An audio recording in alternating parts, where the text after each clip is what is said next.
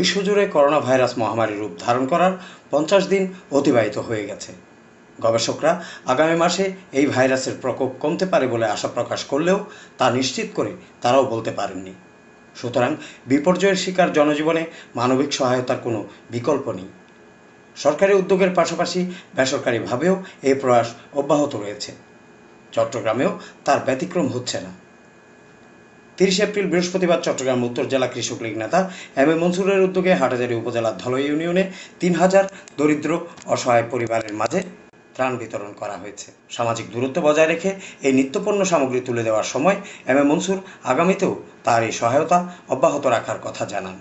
এদিকে বান্দরবান থেকে প্রতিনিধি রিমন পালিত জানিয়েছেন, সেখানেও স্বেচ্ছাসেবী সংগঠন গ্রিন সোসাইটির উদ্যোগে শহরের গোয়ালিয়াখোলায় একশো ষাট অসহায় পরিবারের মধ্যে খাদ্য ও ইফতার সামগ্রী বিতরণ করা হয়েছে।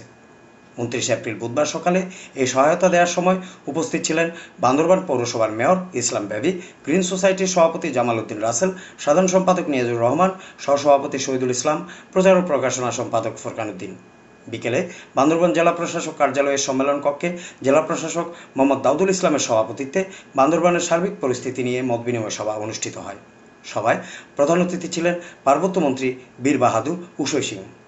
বিশেষ অতিথি ছিলেন সেতু সচিব Mazharul Islam, police super Jerin Akter, brigadier general Khandakar Mohammad Shahidul Imran, PSC.